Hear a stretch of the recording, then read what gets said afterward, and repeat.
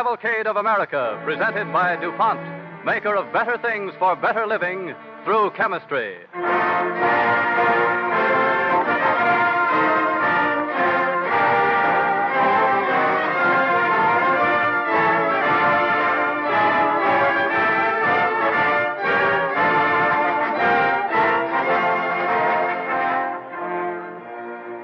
To the millions of American men and women who have labored, and today labor still, with hand and mind and heart, to build and to preserve a great free nation, the Cavalcade of America proudly dedicates the unending story of a new way of life in a new world.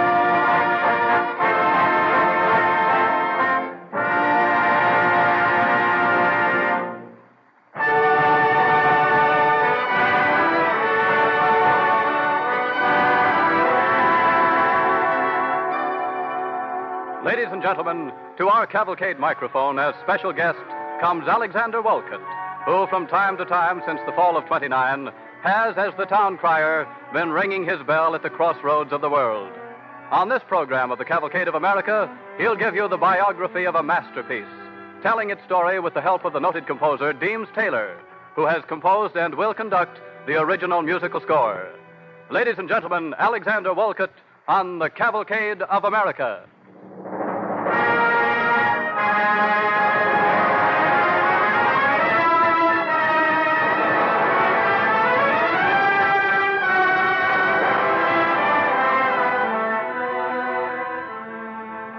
This is Woollcott speaking.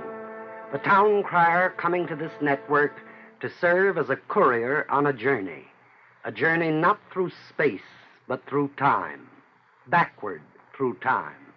A hundred years ago, or nearly that, through the magic of a man of genius, there was given to an immortal named Scrooge, a friendless old miser named Ebenezer Scrooge, a chance at a change of heart a chance while still in this state of life to be reborn. It came to him because on a certain Christmas Eve, he was allowed to go back through the years and see himself as he used to be. Was suffered to stand invisible and look through a grimy schoolhouse window at the lonely little boy he used to be.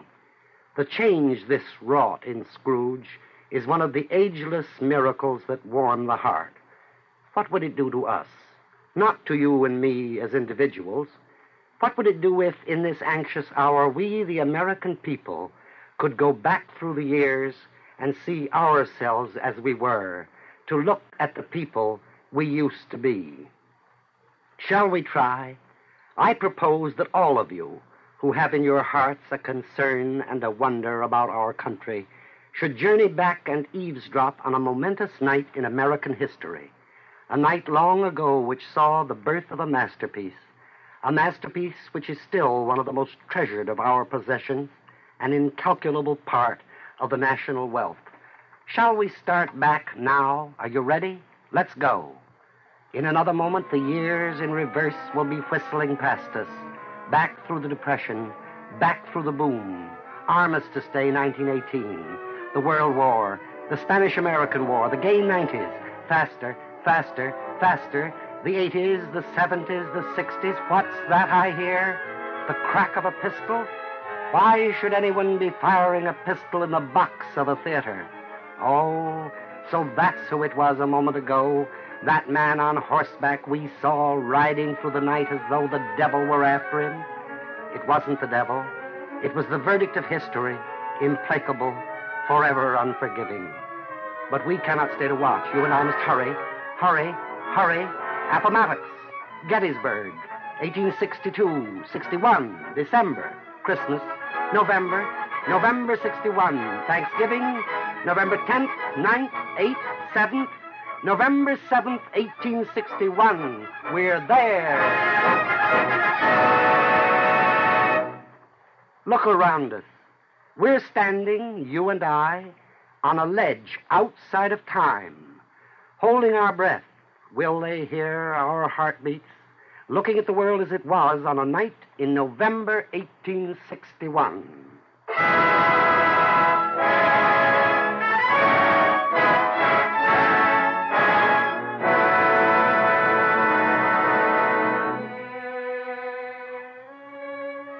let's look at the world from where we stand. Face west. That ocean, the Pacific, and those little islands, Japan. That's the harbor of Yokohama. Tall ships with towering masts and great white sails. One flies an American flag, another English. Japan has just been pried open by the eager world outside. Such a fascinating little people, so amusing and picturesque.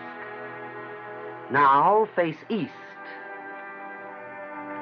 Beyond the Atlantic lies Europe, at peace for a change, but not for long. Europe, a continent ten days away from us, ten days away for battleships, ten days away for words even, ten blessed days away by the fastest boat afloat. On the throne of England, Victoria, young Victoria with Albert still beside her, but not for long. Before this very year is out, she will enter upon her tremendous widowhood. Gentlemen, the Queen.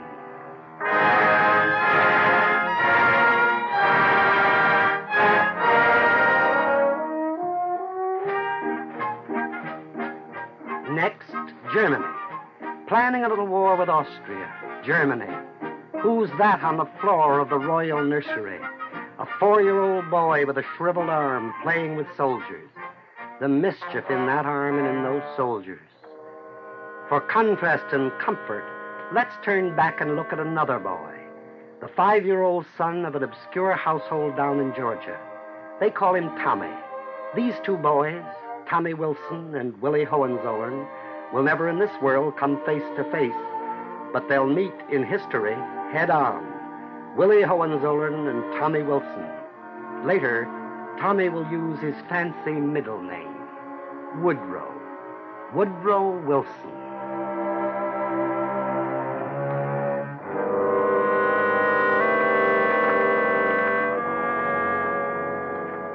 November 1861.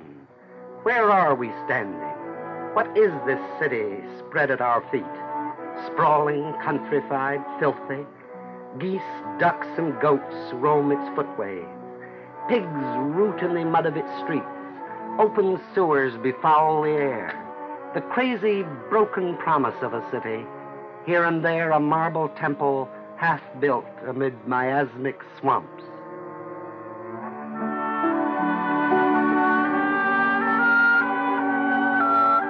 Yet surely that stately dwelling with the white columns, that white house just across the way, is the White House. Can this be Washington? It must be. Washington in 61. Then that street there with pigs rooting in the mud must be Pennsylvania Avenue. Pennsylvania Avenue. A country lane with pigs rooting in the mud.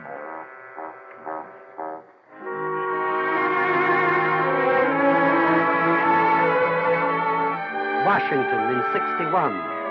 But where's the Capitol? That fraction of a building with a skeleton dome, is that the Capitol? But the monument, the Washington Monument, where's the noble shaft that for remembrance should stand forever silhouetted against the sunset? Now it's just a stump, its memorial blocks still in their packing cases scattered on the ground. This is November 61.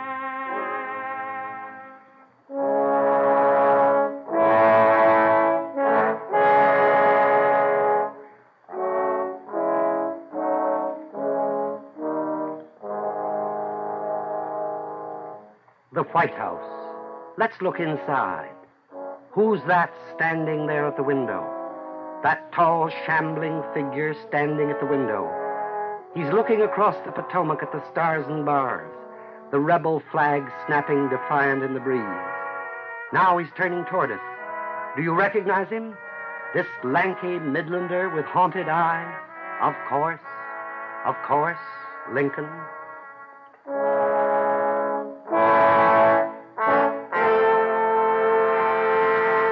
Abraham Lincoln with his great work still to do.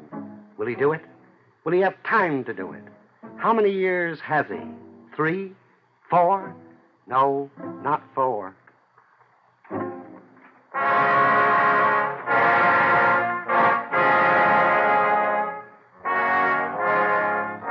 Lincoln, see. He's walking toward his desk. He's sitting down. He's writing.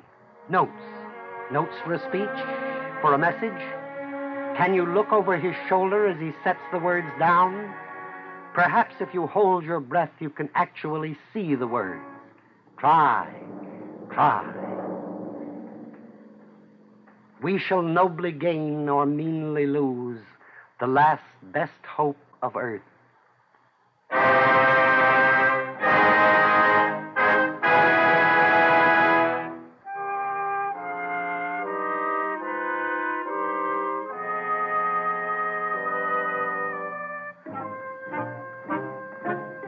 November 61.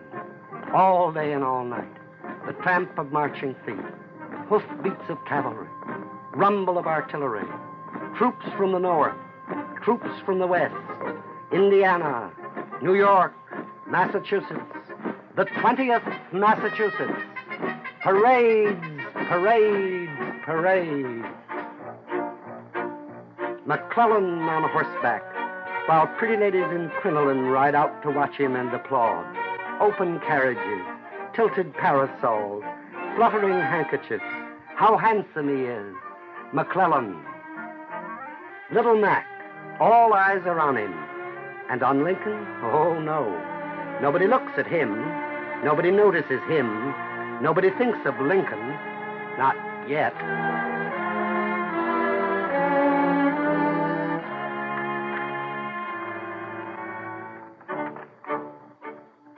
November 61. If we wait till sundown, we shall see a myriad lights winking in the meadows round about.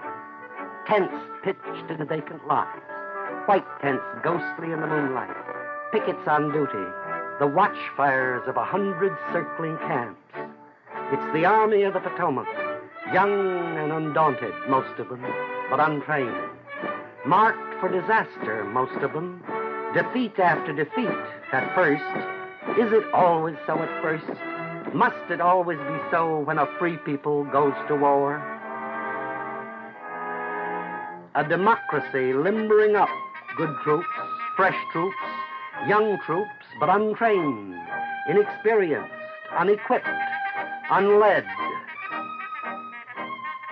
The Army of the Potomac, it must have a leader. Are all the able officers on the southern side? In all the north, is there no one to match thee?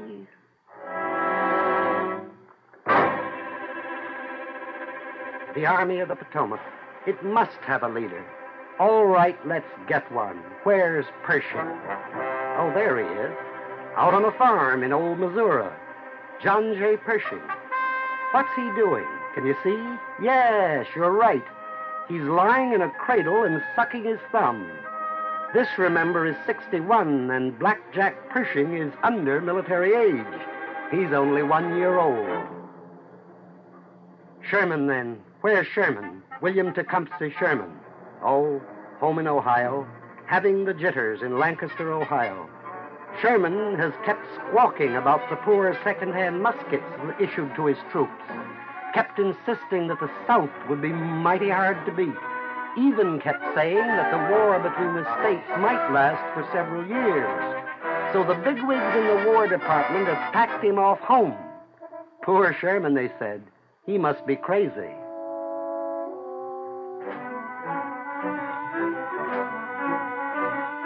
The Army of the Potomac and no one to lead it. Where's Grant? He's the man. Where is he? Where's Grant?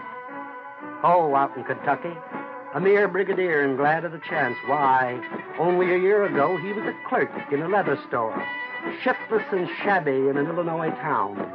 A few weeks ago he was miserable in civilian clothes with only a red sash and a sword to show he was an officer.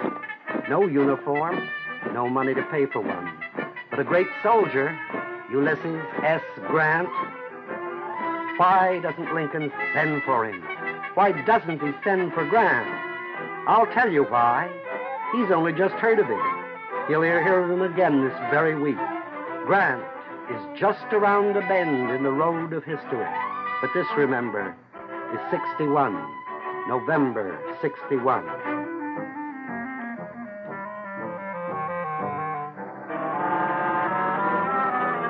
Only three months ago was Bull Run. Only the other day, the bloody skirmish of Ball's Bluff. Bull Run, defeat. Ball's Bluff, defeat. Pretty bad, but worse is yet to come. Worse? Oh, look ahead. The Peninsula, Fredericksburg, Chancellorsville. The blood that will be spilt in the next three years. Blood and pain. Pain and blood. Well, never a child is born without them.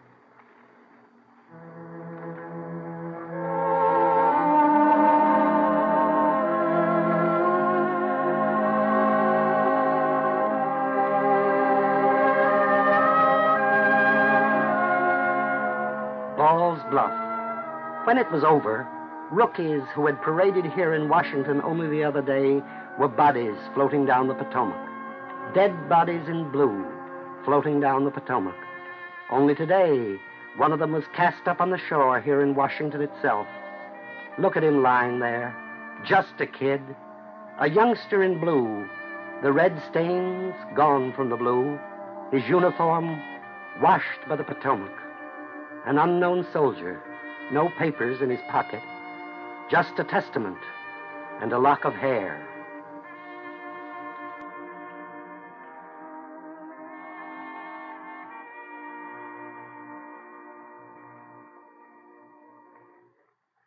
Well, down to this wartime city we've just been looking at, there came in that long ago November a visitor from Boston. Up there, the governor had asked the great Dr. Samuel Gridley Howe to check up on the care of the Massachusetts wounded, and with him on his mission he took his wife. She had been a Miss Ward of New York.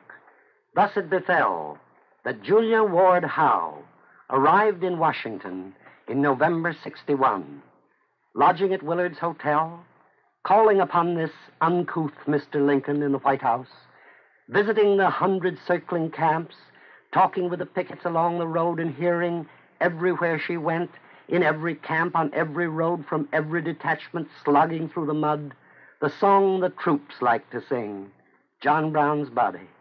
The soldiers had fitted words of their own to an old camp meeting tune. No one knew then, no one knows now who wrote it. What a tune, said Mrs. Howe wistfully. Ah, said a friend, if only you could find the right words for it. And she replied, I have often prayed that I might. That night, while she slept, her prayer was answered. In the hour when the dawn showed gray at the window, she awoke with the words on her lips such words are the stuff that dreams are made of and can vanish like the dew with the rising sun. Before these could vanish, before there was light enough for her to see what she was doing, she rose and put those words down on paper. They were there, legible enough for her to read them, when the day broke, and pretty much as you and I know them now. They are part of our great inheritance. Oh, yes, you know them. Mine eyes have seen the glory of the coming of the Lord. He is trampling out the vintage where the grapes of wrath are stored. He hath loosed the fateful lightning of his terrible swift sword. His truth is marching on. Thus was born the Battle Hymn of the Republic. When she had finished it, she sent the manuscript to the Atlantic, then edited by a neighbor of hers named James Russell Lowell. He accepted it and in a lavish moment paid her five dollars. It was published in the February issue. In no time, it was hers no longer, but common property. The whole North knew it by heart. Today, it is part of the national wealth. The battle hymn will be sung in this program, not for you or me, though we may listen in, but for a single listener, a woman now sitting in the gentle firelit living room of a house in the state of Maine a yellow house that stands at the top of a hill in Gardiner, Maine. This listener's name is Laura E. Richards. The English speaking world is thronged with her friends, friends who may never have seen her in all their lives, but who are greatly in her debt, for it was she who wrote Captain January. She wrote that dear story more than half a century ago, but to this day it comes to every boy and girl who reads it as a personal kindness. Yet that is not why we honor her tonight. This serenade will be sung under her window because she is the daughter of Julia Ward Howe. Are you listening, Mrs. Richards? My eyes have seen the glory of the coming of the Lord. He is trampling out the vintage where the grapes of wrath are stored. He hath loosed the fateful lightning of his terrible sword. His truth is marching on. Glory,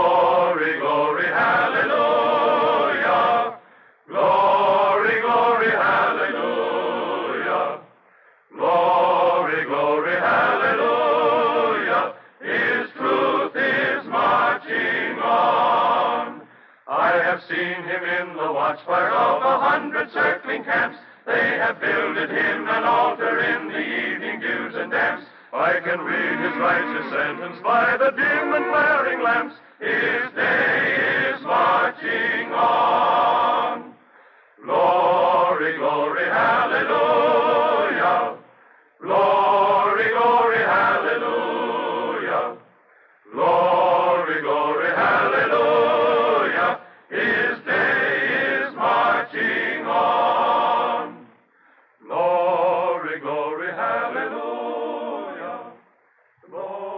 Let me tell you one fact about Mrs. Richards. She has reached that point in her journey where no woman minds if the neighbors know her age. Frankly, she is going on 91. On her birthday last February, she insisted on having three parties, and so help me, she had them. The third was held in the dusk of the winter sundown with all the clan gathered about her, the great cake ablaze with 90 candles. The birthday messages, which poured in from every corner of the country, were too much, she protested, for one small and ancient woman. In answer, she was content to quote the words her mother had said when she was 90. I want you to hear the message Julia Ward Howe sent on her 90th birthday. Indeed, I've come to this microphone just to pass those words on to you. When she was 90, the author of the battle hymn said this I march to the brave music still. I march to the brave music still. Can you and I say the same? Under every American roof from coast to coast, in every anxious American heart today, those words stir a question. The answer to that question also lies just around a bend in the road of history. The next few years, perhaps the next few months, will bring that answer. Do we, do we, do we march to the brave music still?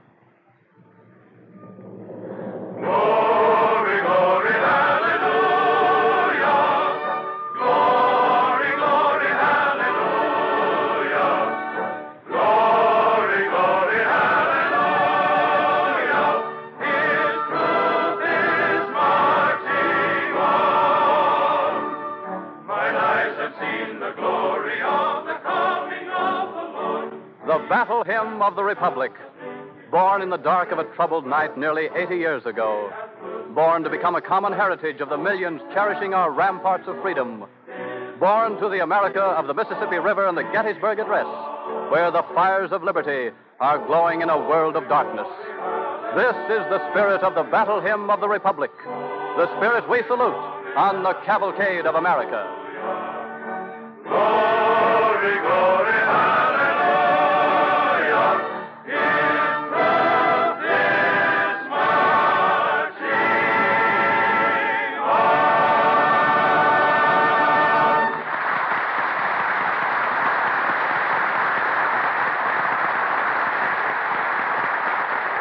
Cavalcade of America thanks Alexander Woollcott for his radio presentation of the Battle Hymn of the Republic and for being our guest on this special program.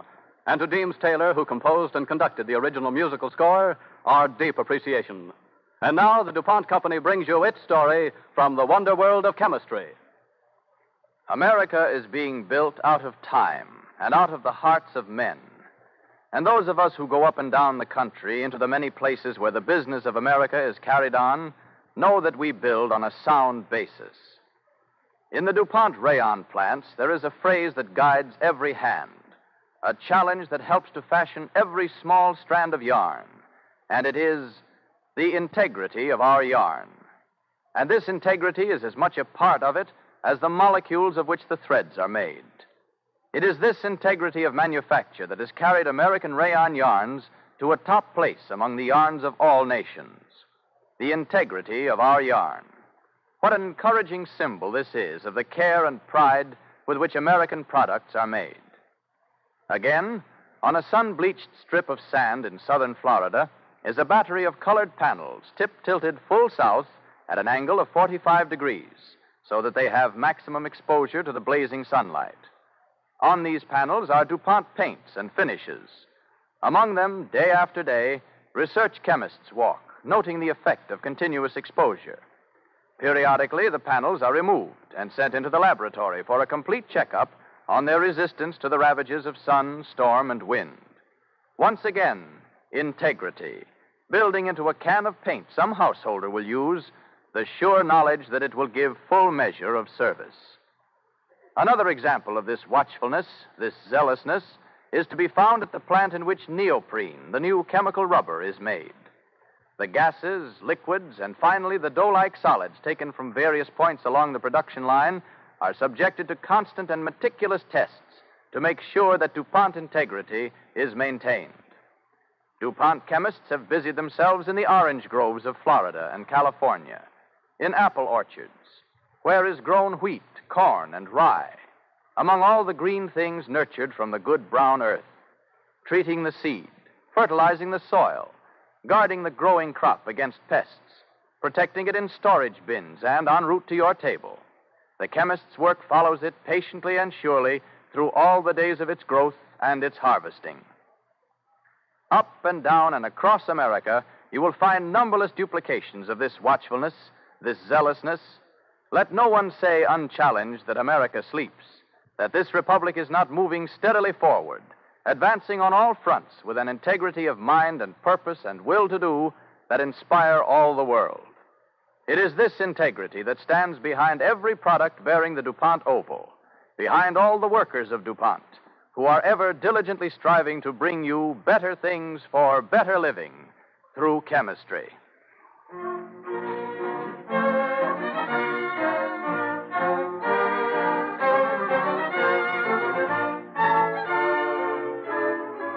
And now the star of next week's program, Ray Collins of the Cavalcade Players. Ladies and gentlemen, next week the Cavalcade of America pays tribute to Theodore Roosevelt. Our radio play, The Big Stick, is the story of a fearless hero.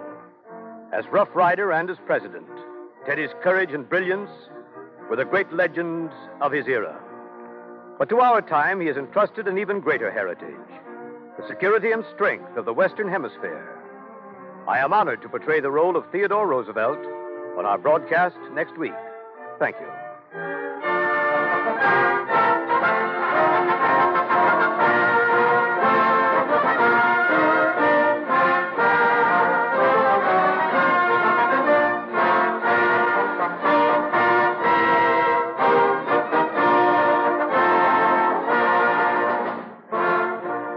Cavalcade of America, your announcer is Clayton Collyer, sending best wishes from DuPont.